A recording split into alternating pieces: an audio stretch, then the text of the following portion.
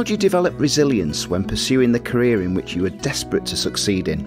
Also, if you're a songwriter, how can you trigger ideas for new material when you have writer's block? We'll provide some answers for you in today's episode. Welcome to Half Hour Mentor. It's Ian Cleverdon here, and welcome to the audio podcast series designed to help anyone who wishes to further themselves with their personal hobbies and professional development, with a focus in this series on creative arts. In this episode, I catch up with Scottish singer songwriter Findlay Napier. Fin is widely regarded as one of the finest performers on the UK music scene. This fact was reinforced when he was the first solo act ever to be nominated for Live Act of the Year at the Scots Trad Music Awards in 2018. Tirelessly creative, he has been touring and releasing music since the early noughties, firstly with groundbreaking trad folk band Back of the Moon, then with new folk pioneers Findlay Napier and the Barroom Mountaineers. His breakthrough solo album, VIP Very Interesting Persons, was produced by legendary singer songwriter Boo Hewerdine and achieved number two in the Telegraph's top folk albums of 2014. He's since gone on to release two further critically acclaimed solo albums and a number of varied collaborative projects.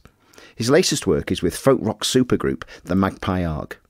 If you're not familiar with Fin's wide ranging work, I've put together a Spotify playlist of some of my favourite songs from his extensive solo and collaborative catalogue. You'll discover during this interview why he's considered one of the best raconteurs and engaging performers on the live circuit, and also what else he does beyond live performance to continuously improve and to pay the bills. Let's have a listen. Findlay Napier, welcome to Half Hour Mentor. Thank you for having me. Oh, absolute pleasure. Right, let's go back, as I do with all of my guests, to your teenage years. What was the first job you wanted to do or career you wanted to pursue? Um, it's kind of funny, actually. I did one of those, um, like a test thing that you had to fill out, and the answer that I got was antique stealer. Um, and Lovejoy was on the telly at that time. And so there was this point where I wanted to be an antique stealer. And then the person at school that I had said, Well, that's not going to work really. What you've done here is you've had a career in mind, and when you filled out the form, it's landed on what you want. Because so, you're a fan of Lovejoy. Yeah, yeah, basically. So, uh, uh, which may be the case. Anyway, I did it again, and I think I got uh, journalist or something like that. But it was kind of strange actually because I played music all the time, and I loved music. And my mum was a professional musician, but weirdly, I just didn't think I was good enough to be a professional musician. And it wasn't until my high school music teacher, Christine Jackson, said, I think you should go to this course at the Royal Conservatoire of Scotland. It was called the RSAMD. It was a, a, a Bachelor of Arts in Traditional Music. I think I said to my guidance teacher, um, I think I'm going to do that. And she was like, there's no way you can do that. You're not, you're not good enough. And my music teacher went absolutely mental. Like, um, I think it's the first time I ever heard a teacher swear. Wow. Was this the careers advisor that said that it was the wrong decision for you? Yes, yes, yeah, yeah. It was quite strange actually. All I had ever done was was hang out, you know, with musicians, and I loved music. I loved playing music, and by this point, I was writing songs and everything. You know, I'm talking here like fourth, fifth, and sixth year at school. So I had already started. I think I started writing songs maybe in fifth or sixth year, and I was playing guitar, and I had a band, and we were out gigging, and I was making money I mean, I remember the first time I got money for playing and talking to my friend who'd worked in the spa in Grantown all day Saturday, given up his whole Saturday. And he'd made 20 quid and I'd made 30 quid. And all I'd done is hung around one of the bars in Carrbridge playing music and had made five pounds more than him. And I was like, this is quite a good job. you know, 25 quid. Oh my God. Oh, like, the riches. The riches. The riches, but, totally. Yeah. So, when was the first time that music was a real, sort of started to be a passion for you then? Obviously, you said your mum was a, a professional musician, but when for you did you think that was going to be the case? Because often you tend to rebel against what your parents do as a, a job. I tie it all back to um, a thing called the Fèis, which is a kind of music camp. It was, it was a music camp at that point where um, Fèis Spè was the Fèis that I went to. There's quite a lot of them all over Scotland, and it's the, the governing body is called Fèisean nan Gàidheal. It means festival, but basically you go there as a kid and you learn about Gaelic culture through the medium of music. So um, we would all learn like Gaelic songs, and then we would have one instrument each. And I got really into playing the bodhrán, and I got playing the guitar there as well. And then usually you'd pick one other instrument. But it was the the thing that got me was not so much the music, which I loved, but the hanging out and the talking nonsense and just the the hanging out and that camaraderie. And then as I got better, playing music with other people, the session scene was just just blew my mind. And because my mum was involved in running the Fèis, there would be the concert, and then people would come back to our house for drinks and a session. So I would see sessions, and it just completely blew my mind the Fèis had an issue at that point. They probably still have this problem, not maybe not quite so severe, but they would lose kids aged about 14. So the kid, the, the was for all high school age children, but when people turned 14, they just left. So they held a special Fèis in Fort William with Jim Hunter, Dougie Pincock, and Ishbel McCaskill. Ishbel McCaskill, a very famous Gaelic singer. Uh, Dougie Pincock now runs the Centre for Excellence in Traditional Music and Jim Hunter um, is a singer songwriter, um, and he's now a guitar teacher in, uh, uh, at Mallaig High School. Uh, he's the guitar teacher there, but he was at that point he was the support act for Runrig, toured all over Europe. You know, he was a really well known one man with a guitar, telling funny stories, singing songs. Yeah. So, yeah. funnily enough, that like, sounds familiar. Yeah. Doesn't that sound familiar? It's almost like it's almost like I just uh, stole his entire thing. Yeah. well, that's almost me- mentor number one for you, really. oh no, it, like absolutely is. Yeah, yeah. He, and he absolutely was mentor number one. I mean, there's no doubt about it. So I, I met Jim and hung out with him there, and Dougie and Ishbel were fantastic as well. But I also met a bunch of people from all over Scotland, the same age as me, who were a lot better than me at traditional music but then I sang on that for the first time. It's the first time I'd ever sang in front of anyone other than maybe my parents.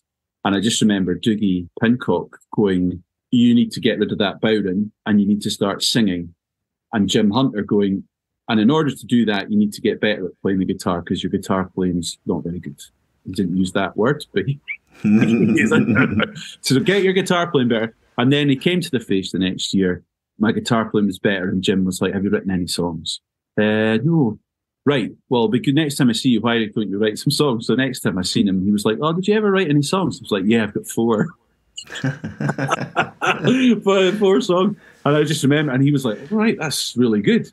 Um, so yeah, that's kind of where it started. So yeah, Jim Hunter was most definitely my first mentor and was the person that, that started me writing songs. And it's pretty amazing actually had just the kind of the random nature of it and so the Fèis, you know was obviously there to promote gaelic culture but what it ended up doing in me is leading me down this singer songwriter route the other great thing that happened at a Fèis was when you got a bit older they gave you a little bit of extra responsibility at that time and so i would go to my first choice lesson but for my second and third choice i would go and help one of the other teachers so i actually learned loads about how to teach it's one of the key things that you do in the songwriting side, which we'll explore in a short while. Yeah, yeah. So, yeah. I, so I kind of like the two things grew side by side, and there were there was not a lot of um, formal learning in either of them. It was all kind of practical on the job. And I realized very quickly that, you know, for example, Jim as a guitar teacher, if I was in helping him, he just needed me to shut up, tune guitars, be a little bit encouraging where someone needed it and to go to the photocopier as soon as he said, can you photocopy that? You know, like it was really straightforward, but I learned lots because I kept my mouth shut and I just listened and I saw how he structured things. I could see how you could break something down into its component parts and teach it. And then through seeing that, that was really helpful as well. And he happened to be an excellent teacher.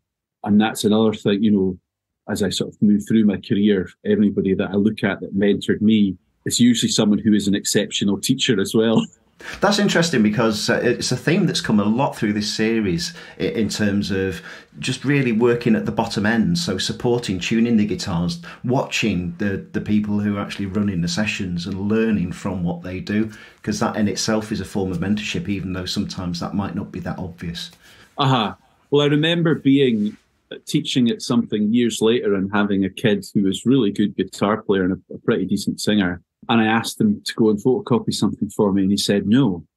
And I was like, but do you understand what's going on here? And he kind of laughed at me, and I was like, I sort of laughing at him, going, "Dude, like, just go to the photocopier and photocopy these things." And he was doing stuff like showing off and playing his guitar stuff to some of the kids, and I was like, "He's actually missing a little piece here." And I explained to him what his duties were, and he didn't. I mean, he wasn't interested at all. He just thought he was there for a kind of Skype and a hangout and to sort of show off to the to the girls and stuff. I was like, maybe maybe I should have been more like that guy. but the reality is, I was a bit of a, I was quite a goody two shoes, and I could see that if I did a good job, it would lead to something. I could see a path forming. Let's go back to that first song you wrote then, because you said you started doing that at an early age. Well, how did you approach sitting down to write your first song? I mean, you've probably written thousands, I would imagine now, but what was the first one like, and how did you go about it? Do you know what's really mad? Is I I don't know how I did it, and I have I heard it not well, you know, a few years ago I heard it because I found a tape that had it on it. It's not that bad. Like if somebody brought that along to me at a songwriting workshop, I'd be like, "Oh right, cool, this kid's really got something. It's really good. Like it's got a chorus, it's got a good melody. It's pretty decent. It's kind of remarkable as a first song by someone who's just been whose only guidance was you should go and write a song. You know." Mm. Can you remember um, what it? Can you remember your first song? What it's called and how it goes? It's called it's called Outside, and it is the um, it is the story of a girl rejected by her parents because she got pregnant, and the sort of killer line just before it before it drops into the final chorus is a baby clutched in her arms. and then it's it's cold outside because they've thrown her outside and it's cold outside, and they welcome her back in when they see the little baby. It's a lovely story, heartwarming little little ditty about teenage pregnancy. I think I had my heart set on being a kind of folk singer, so I was singing about things that really mattered, man. yeah, the, yeah the, the, there's a story there. There's a, a, social social sort of backstory to it as well. Yeah, uh, I know it's quite funny. so where did it go from there then? So what was the lead out into the professional world? So I went and did the traditional music degree at the uh, RSAMD, which is now the Conservatoire of Scotland. That was actually very hard because I think the idea that I had in my mind that it was that it was going to be a phase that lasted three years, um, and the reality was not like that.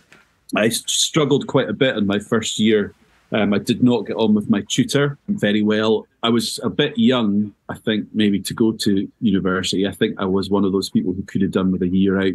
But by the time I got to third year, I actually was really enjoying it. And I really liked the researching that I was doing into folk songs and loved, I really liked the library, hanging out in the library and, and reading songs and stuff. So that was really cool. It was a good time and I met lots of great people. I met my wife. You know, so it was uh, it was pretty. It, it was a it was a really brilliant thing. And then I met Simon McKerrell, um, who was a, the year below me at the the RCS, and I'd had a, a band while I was there, a, a, trio, and that trio kind of fell apart. And my wife Gillian and Simon McKerrell and my brother Hamish were in a band, had made started a band called Back of the Moon, and they'd entered the Young Folk Awards, the Radio 2 Young Folk Awards. Um, and when my band broke up, they asked me to join.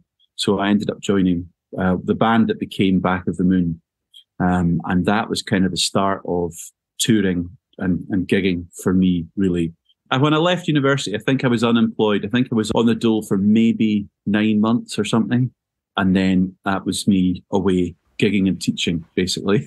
So was it a blend between gigging and teaching then? So it's interesting to know because probably quite a few of the listeners will be going, well, how do you take that leap of faith into going full time professional in music? Well, the money was so bad on the dole that that would you believe there was more money in folk music at that point?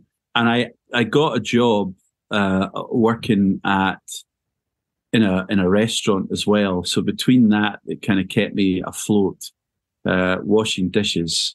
And then there was enough work with music and teaching, and the teaching work just came in. It was like kind of community teaching. I mean, the, the joke about this course at the RCS um, was that I remember our teacher saying to us, the course leader, Jo Miller, the one of the things we're going to train you guys for is to be community musicians so that you can go into the community, work in the community, and use the skills that you've learned here and folk music to to to make your living. There's no way I'm ever going to be doing that, Jo, because I am going to be a traditional singer. I'm going to be like Dick Gaughan or Christy Moore. Uh, standing on a stage and telling my stories and singing my songs. Um, but what's ended up happening was exactly what Jo said. There was loads and loads of people wanted guitar lessons, latterly ukulele lessons. In fact, last week I taught ukulele and guitar in Arran High School for a day. I taught um, songwriting um, and singing and ceilidh dancing with Gillian in three schools in Arran on Wednesday, Thursday, and Friday. Um, so, like exactly what Jo Miller planned is what happened. yeah. So the teaching really still forms a, a very important part of what you do. Oh, absolutely. It's a huge part. And some years it'll be my income will be more from playing, and some years it'll be more from teaching. But usually they sit about 50 50. I've never, um, I don't think I've ever had a year where I've, where I've only had income from one or the other, you know. And yeah, just, just, and I, I've learned most of that on the job. There was a guy called Stephen Deazley, and he did a workshop on teaching. I think it was for Hands Up for Trad. So a whole load of us went to this workshop to see what you would have to say. It was really, really good. But one of the, the at the end, he did a kind of Q and A session, and he said, "How much effort would you put into doing a gig compared to how much effort you would put into doing teaching?" Well, I was kind of hinting at the fact that I put in loads of work into a gig, but hardly any work into teaching. And he was like that. If you want to enjoy your teaching work, you need to put as much effort into it as the effort you put into doing a gig or you won't enjoy it and the people won't enjoy it. So you need to start doing that. Um, or he didn't say you need to start doing that. He just said that. But I went, I need to start doing that. I see what he's talking about here. If you actually dig in and do a really good job and put in that effort, what you get back will be as good as what you get back when you play a blinder of a gig. Um, and that was a really solid bit of advice that's kind of lodged in my head. And also, what do you do if you get offered really well paid work for doing some teaching, but you don't really fancy taking that on? Don't do it. But I need the money. You don't need the money that bad. But I do need the money that bad. No, you don't. You actually don't, because something else good will come along. Your diary will fill up with something else good, or something amazing will land in your lap if you put the work in. You know. Yeah. Um, if you so, if you build it, they will come. Exactly. Yeah that was, I guess, a leap of faith there, um, and I, but I think it was a, a worthwhile one. Well, that brings us really nicely to the present then, because I was going to ask you about all the different solo collaborative projects that you do musically and thinking, how on earth do you balance all of those? And now I'm just learning you've got the education and the teaching to fit in as well. You know, uh-huh. and of course, we'll talk about the songwriting sessions in a moment, but how do you balance all of that? So, you know, you've got your solo career, you've got the Magpie Arc at the moment that's going through, you've done Story Song Scientists, uh, you know, you've got all these different projects that's going on. How do you plate spin all of those things and know when to do what? Uh, Google Calendar. And I am getting a lot better at managing my time, but there's a lot of time management goes on the Magpie Arc was particularly mad because they're based in Sheffield. So quite a lot of the Magpie Arc is just driving to Sheffield in order to rehearse. Um, you, live so that, on, you live on the Isle of Arran. and I live on the Isle of Arran. Yeah, yeah. I don't live in Leeds or, or, or, anywhere or anywhere like convenient to Sheffield. Um, in fact, I lived in Glasgow when I first started with that band, and I've just I've moved uh, effectively moved two hours further away. No, an hour and a half further away. So three hours extra travel time I've added. But um, yeah, it's interesting. I mean, you can do so much stuff online. Like we're doing this online right now, and there was a time where if you went had to go for a meeting, you had to go into town. I teach at the RCS. I teach songwriting there, and they keep, they've asked a few times, "Would you like? To, could you come and do your thing face to face? Your your your hour a week face to face?" And I just said no because uh, when I lived, even when I lived in Glasgow, it added an hour and a half onto the one hour of teaching that I was paid for. Um, so I just went, no, I'll do it, but I'll do it on Zoom so I can fit it into the rest of the day and fit stuff around it. So yeah, I'll just look at a day, I'll plan it out, and I'm learning how to say no um, a lot more. The story song scientist is really good because Meg and I work very quickly, and so we work in little blocks of time. So, for example, we wrote the second EP in two songwriting sessions So that was like less than two days that we wrote it. And then we recorded it by sending stuff backwards and forwards. Um, and her brother assembled it. And then we had a day or two of rehearsals before we went out on tour. Two days of rehearsals, I think we had. But yeah, we did a lot of personal practice before bringing ourselves together to do that.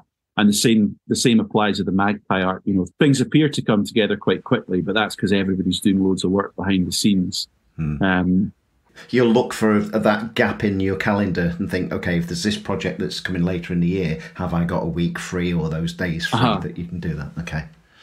I'm not doing a lot of solo work this year. I'm waiting till 2024 and I was focusing on the Magpie arc for this year and just being living on Arran, making the, the transition from, from the city to, to living on an, on an island. And just in case anyone thinks that Arran's remote, if I, I can get on the ferry on the first boat in the morning and I can be in Glasgow Central Station by 10.30 and I can be in uh, London Euston by 2.30. So although I'm on an island, I'm not that far away from the rest of the world. Arran's, you know, it's in is in the Firth of Clyde between the Mull of Kintyre and and North Ayrshire. It's not uh, it's not Lewis or, or, or Shetland. Do you know what I mean? Because uh, I one of the stories I keep getting told is, "Oh my God, you've moved to Arran." I mean, Kris Drever, he lived in Shetland, and I think he found it quite difficult. And I'm like, "Yes, that's Shetland." It's so far away. It's in a little box on the map. Arran is 45 minutes from the mainland and there's five ferries a day, you know. Yeah. a, it's, a, it's, a wee bit, it's a wee bit different. Um, Just a little bit easier. It's yeah. a little bit easier. We still have our problems, but it's a it, with, with with breaking down ferries. But we we are marginally closer. Um, yeah. So just like in, in terms of balancing things out, I noticed that I had one solo gig um, and I thought I'd be able to sort of do all the practicing for that in half a day.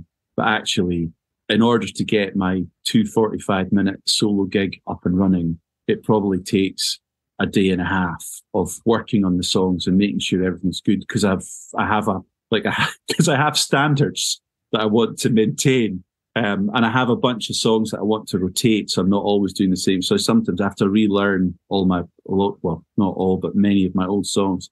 But if I'm regularly doing solo gigs, I don't need to rehearse very much at all. Like they're they're right there at the front of my mind. But like, yeah, like if you said, "Will you come down and do a gig next week?" It would take me about a day and a half to get up and running. So I'd have to go right.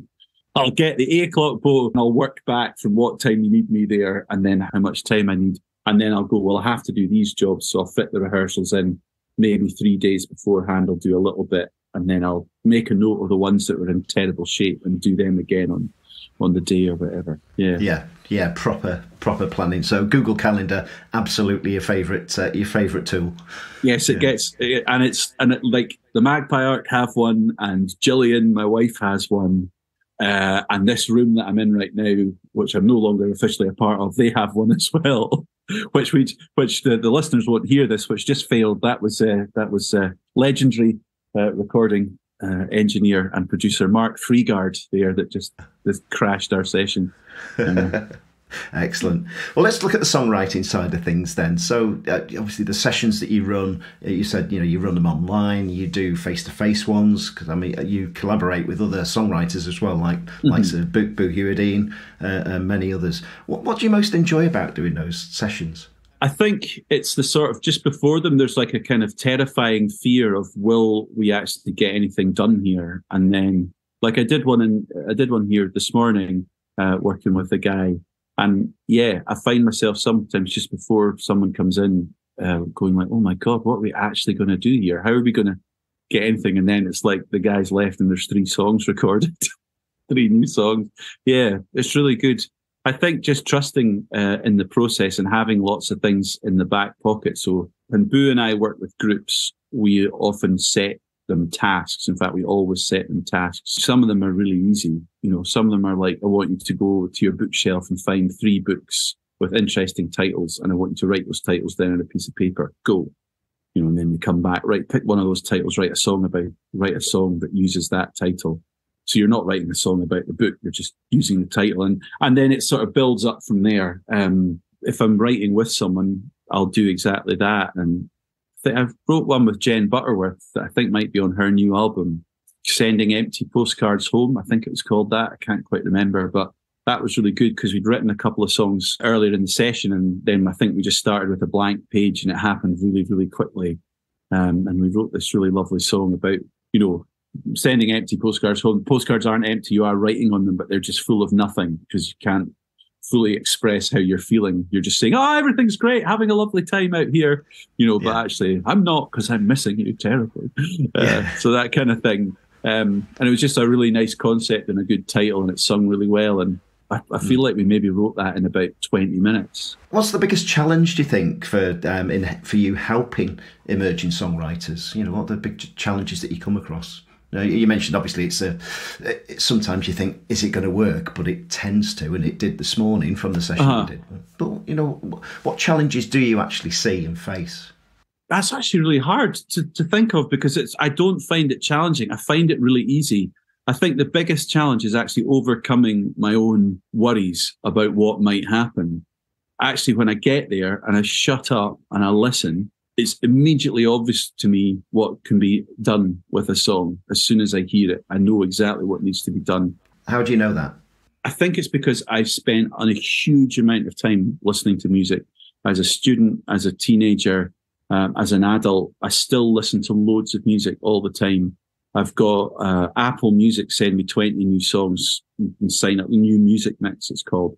And I listen to those 20 songs every week, 20 new things that I haven't heard before and I sort of weed through them and pick out the ones I like the best and save them to a playlist, which I then listen to occasionally.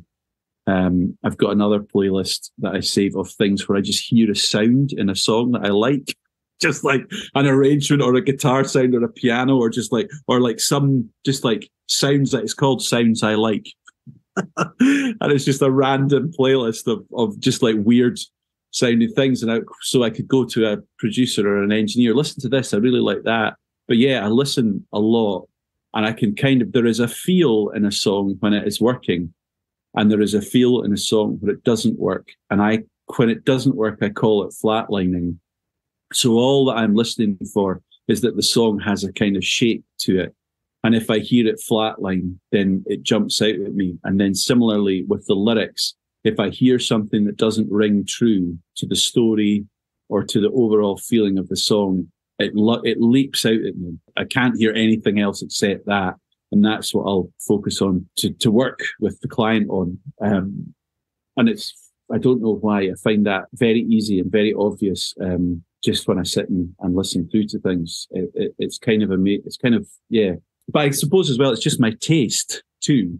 You know, like so it comes down that somebody else could listen to the same song and not hear what I'm hearing. Um, but I hear stuff like that super fast and I usually know how to change it as well. That's really good to know. Uh, uh, that's excellent. We talked about uh, mentor number one earlier on. Who else has mentored you or has been an influence in your songwriting over the years?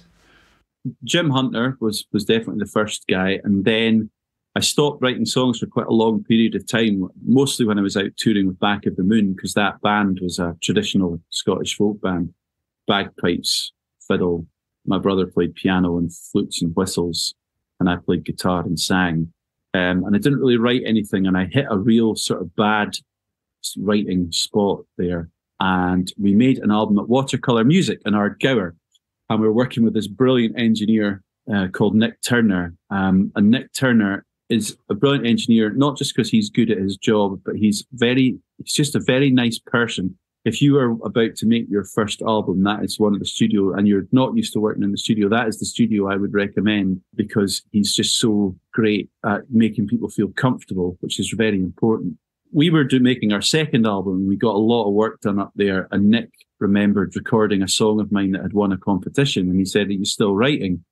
And I said, Oh God, if, oh, I haven't written for ages. I'm in a bit of a dry spell. He said, Have you considered co-writing? Well, yeah, maybe, you know, and I didn't do anything about it. And I was talking to Jim on the phone and said, Nick Turner said that I should go up and, and try and write some songs with him. And Jim was like, well, why didn't you just do it? And I think literally just lifted the phone and called Nick and said, actually, Nick, I'd like to take you up on that. So I got the bus up to Ardgour with my guitar and a bag of coffee and a bottle of wine. And we sat in his kitchen, and at the end of the first night, we'd written four songs. and by the time I left the next, the, the, the day after that, so it was up for a night, a day, and then a bit of a day, and we went and recorded it. I think we recorded six songs. What were the tri- the ideas that triggered those songs? If, I had was almost like, like starting again, wasn't it? Yeah, it was funny. The, I had songs that were kind of finished, but they just went nowhere. And Nick came out with this brilliant line, which I use all the time, which is reversing backwards. I'd written a whole verse, reversing, we're reversing. And then I written the next, then it'd be a chorus and it'd be great. Yeah. And then there'd be another verse, going backwards, going backwards. And it was just like I'd written the same verse, but just used different words. And I just couldn't. Second verse syndrome, people call it as well. But I loved Nick's way of calling it reversing backwards. It's like the song is going nowhere. So we would very, we would make a story up. We'd invent a character and then we would write the song to the end with that. And then we would improve on the song afterwards. So we made two albums under the pseudonym Queen and Anne's Revenge. And then I used a lot of that material that, that Nick and I wrote to make the Findlay Napier and the Bar Room Mountaineers. Those two albums are mostly songs by Nick and I. Um, I don't think there's anything I wrote myself. I mean, I think they're all co-writes with Nick. So that was great, like really, really great. We had such a good time. We had such a good laugh doing it as well. It was just a hoot, but we were learning loads about songwriting. Um, and then after the second album came out there, I kind of hit a wall again, but I didn't know what to do. Nick was really busy. He rebuilt Watercolour Music into what it is now, which is a very impressive facility. And I think Lucy, my daughter, was about to be born. And I was speaking to a guy called Simon Thoumire who runs Hands Up for Trad. And he said, well, What are you going to do next? You've made the first Bar Room Mountaineers album, the second one. What's happening next? And I just put my head in my hands and I was like, I just don't know what to do. And he said, Oh, Creative Scotland are doing mentoring funding. You should get a mentor. And I was like, Oh, that's a good idea. Never heard of mentors, despite having had two of them. Um, at least two of them, probably more. But uh, so I spoke to Simon and Percy, who run who run that, and uh, we wrote an application that got accepted.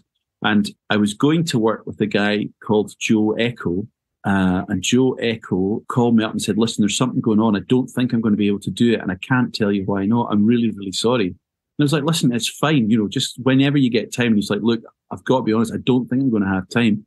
I've landed a job and I can't tell you about it, but I will call you." And then eventually he did call me. He called me to say he was the lead singer in INXS. so he's called Ciaran Gribbin. Uh, uh, Ciaran sorry. Ah, oh, so funny, man. So he was like, and that's why I've moved to Australia. They've moved my whole family. We've got sticks. We've left um, Northern Ireland and we've moved to Australia. So I can't help you good luck finding someone to work with you. But I did find someone. If, uh, um, in fact, it was really brilliant how it happened. I was talking to Gillian, my wife, about who could be a mentor. And she said, well, what is it you want to do? I said, well, I want to write songs for people like Eddie Reader. And remember that time we supported that guy, Boo Hewerdine? I want to be able to do a gig like at that gig that Boo did, where I'm telling stories and I'm singing songs. Um, and he writes songs for Eddie Reader, you know. I said, and the other thing that he does is that he teaches songwriting. So that means he'll be a really good teacher. And I'd like to be a really good songwriting teacher too. And Jill was like, do you not think maybe you should ask Boo Hewerdine then? so what you're saying is there's one man who is also a good teacher that fills all the three things you want to do. Why not ask him? So I did.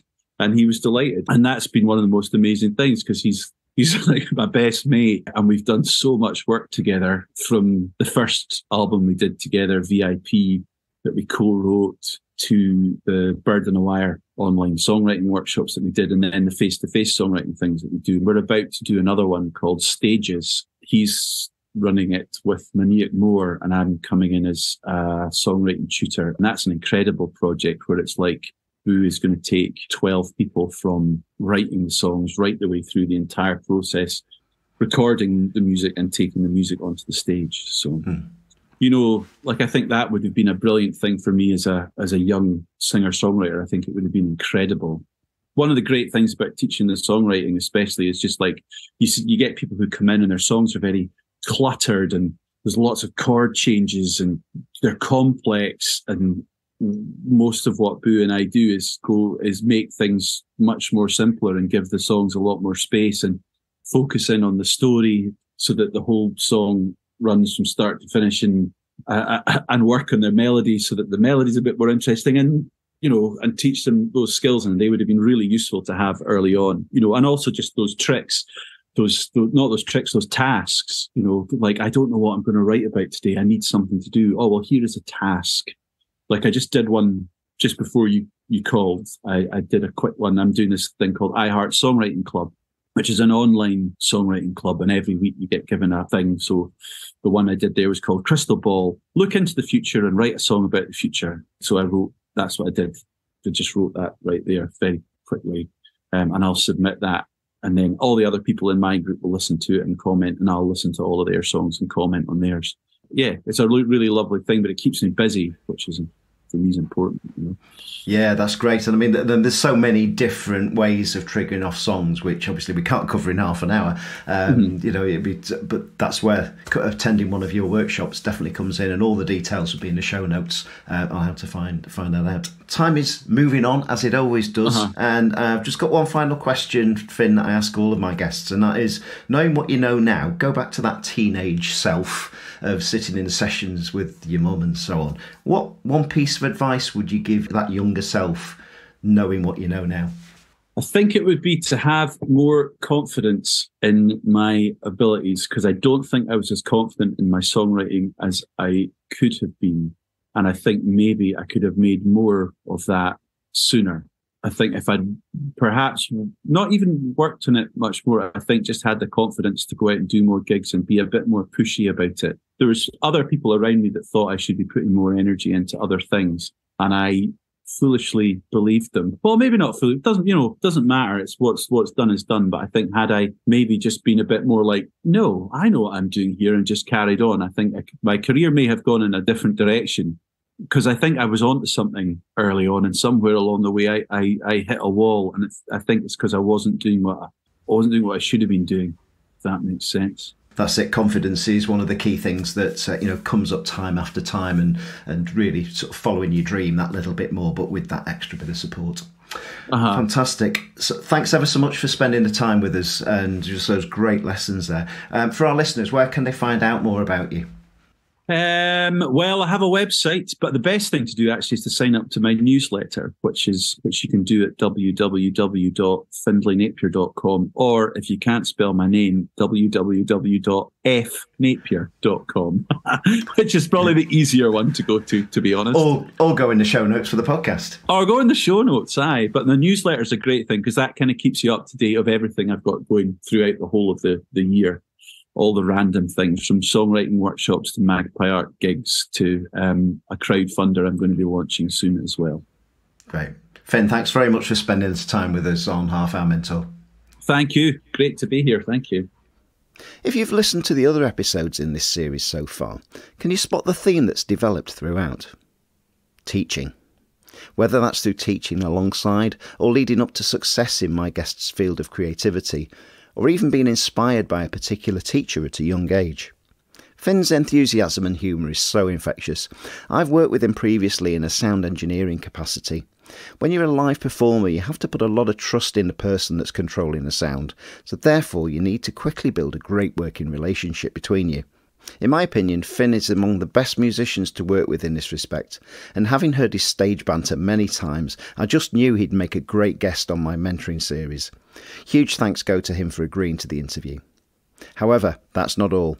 I did my usual quick fire question round with him, as I've done with other guests in this series, and his hilarious responses can be heard in the short bonus episode, which will be available the day after this one is released. If you've enjoyed this episode, please subscribe to the series wherever you get your pods and review the back catalogue. You can leave feedback about the episode through social media by searching for Half Hour Mentor or via the email link in the show notes, where you'll also find links to Fin's work and the Spotify playlist I've created. Thanks for joining us, and until next time, bye for now.